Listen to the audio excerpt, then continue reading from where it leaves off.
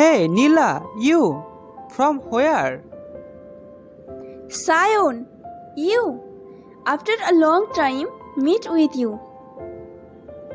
I am coming from Dehradun.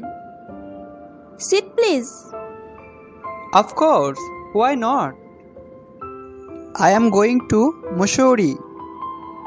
Wow, Mussoorie is famous among tourists as hill station, mall road, shopping and restaurants. Why are you going to Mussoorie? I am going to Mussoorie for a business meeting. Oh, okay, Shayan.